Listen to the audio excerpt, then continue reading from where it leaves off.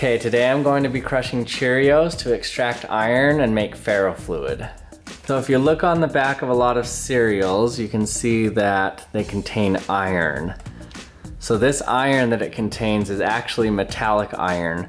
So they put little ground up bits of iron in the Cheerios and they call it fortified with iron. So my goal here is to extract that iron using my hydraulic press to crunch up the Cheerios and then a super magnet to pull out the iron from the crunched up Cheerios. So you know, I could just use my hands to crunch up these Cheerios, but where's the fun in that? Let's crush them in my press first. Okay, Cheerios in a hydraulic press to extract iron and make ferrofluid. Three, two, one.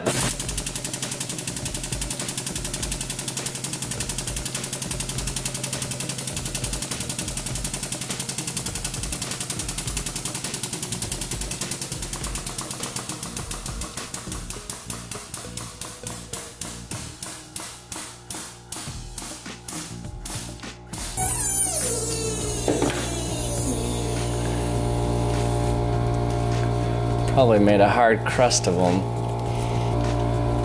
Okay, so that's what I want right there. Okay, I've got my crunched up Cheerios in my bag here. If you don't have a hydraulic press, just crunch up the Cheerios really well. Put them in a bag, pour some water in it.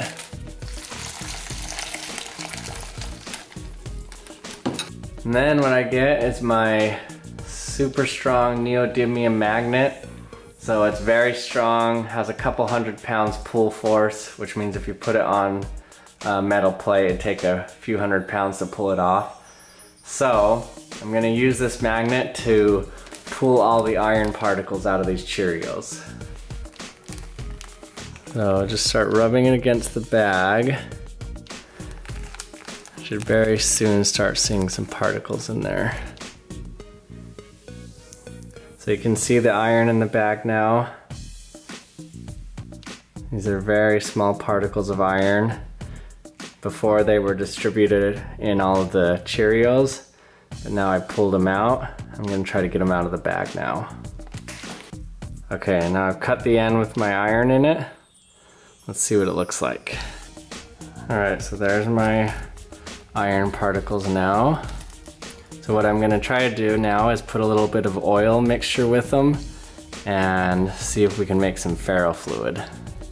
Okay, so right here I've got my homemade ferrofluid and then over here I've got a real ferrofluid that I purchased. Okay, first here's my ferrofluid.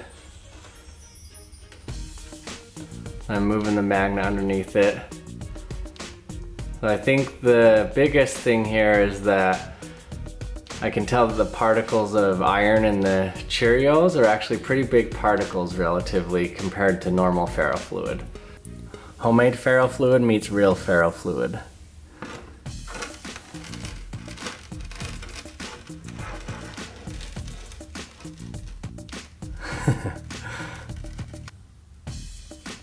that looks cool.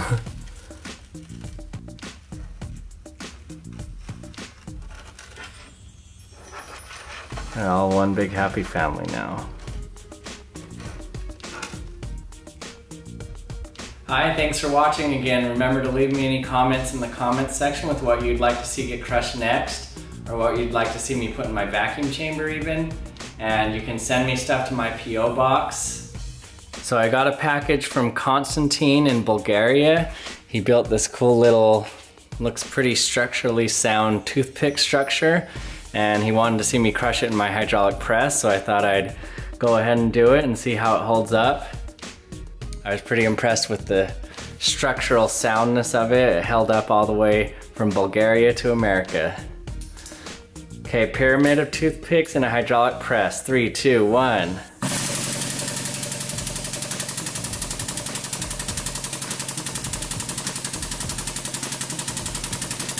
first layer's down. Bottom layer still holding up.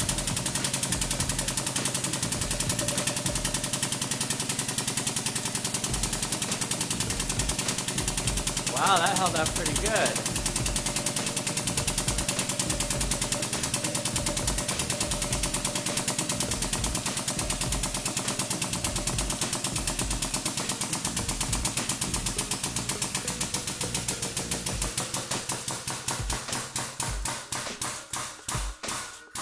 Yeah, that's pretty impressive. That held up pretty good.